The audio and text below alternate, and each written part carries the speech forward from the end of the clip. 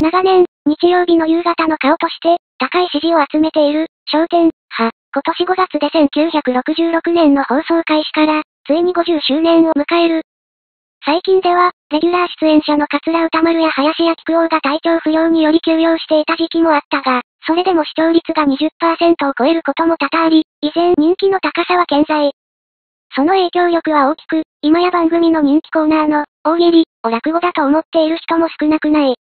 焦点、が長年にわたって視聴者から愛され、高視聴率持続してきた要因はどこにあるのか？演芸番組に携わる放送作家はこう語る。マンネリというと、悪いイメージにとらわれがちですが、焦点の場合はいい意味で変わらないところが魅力の一つ。普通は長く番組をやっていると出演者をあれこれ変えたくなるものですが、大喜利メンバーはほぼ固定し、政治や社会的事件の風刺、メンバー同士の罵り合いといったお約束もこの50年間ほとんど変わらない。そうした決まり事を安心して楽しむことができる点が、高齢者を中心に支持されてきた理由でしょう。あの、水戸黄門、も毎回完全懲悪というワンパターンな演出にもかかわらず人気があったように、焦点にも変わらなさが求められているのではないでしょうか。視聴率が悪いと、何かとテこ入れと称して、出演者の交代や企画の変更が行われるテレビ界。その中にあって、焦点、派、異例とも言えるマンネリズムが最大の武器になっているようだ。また、芸能評論家の市川大輔氏はこう分析する。視聴者にもわかりやすい出演者のキャラ付け。今でこそ、タレントはどのようなキャラクターで自分を売り出すのかを考えるのが当たり前の時代ですが、焦点、ではバカや物知りキザなど、大喜利メンバーのキャラ付けが、番組当初から徹底して確立されていた。そのキャラに合った発言や回答というのは、見ている側からするとイメージとぴったり重なり納得がいく。そんな個性的なキャラクター同士のぶつかり合いも長年番組の名物となっていて、以前にはキザキャラの三遊亭荘園湯と常識人キャラの桂歌丸の船かぶりが加熱し、ついには手打ち式まで行ったこともあった。そうしたメンバーの人間臭さを見せるのも成功してきた理由でしょう。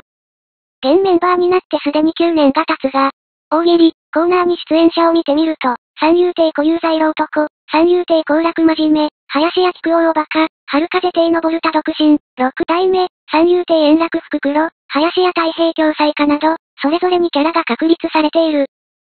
若い視聴者層の獲得にも意欲的。さらに、焦点、派高齢者だけでなく、若者にアピールする努力も怠っていないという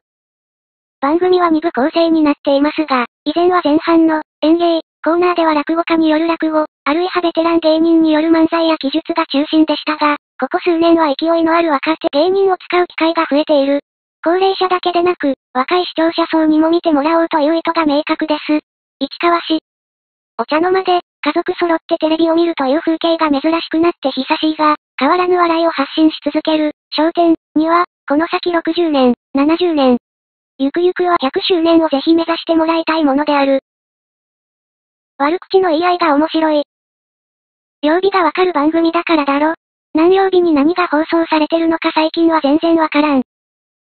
テレビ脳に毒された哀れな老人向けに番組を作る。組むまたぎ、テロップ、ワイプがないからだろ。惰性の力を舐めるなよ。裏の多くがニュースだからでしょ。最近、ジェノサイドとか言われているが、どういうことなんだ？会がまともな話家であり芸人がちゃんと芸をしている。ただこれだけ。なんで他局が真似しないのか疑問。録画して、前座を飛ばしてみるのが私流。できることなら前座を止めてその時間長くやってもらいたい。じいさんが耐えられるかが、問題だが。わら。この時間帯、焦点しかやってないじゃん。わら。裏がつまらなすぎて。だから視聴率いいんだろ。プロがプロの仕事をしてるから、ワイプもないし、組むまたぎもない、家族で見ることができる番組。たまに見ると、悪ふざけというか慣れ合いというか、ちょっときつく感じる。昔は、よしひさちゃんがヨタやって、歌さんや楽ちゃんが突っ込むくらいだったのに。歌丸が全員の座布団をなくすこと。最後までご視聴いただきありがとうございます。随時更新していきますので、よかったらチャンネル登録お願いします。また、次の動画でお会いしましょう。